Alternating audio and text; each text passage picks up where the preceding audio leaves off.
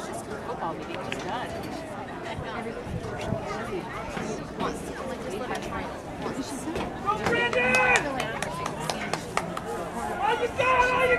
We have the results of the boys 1600 meter.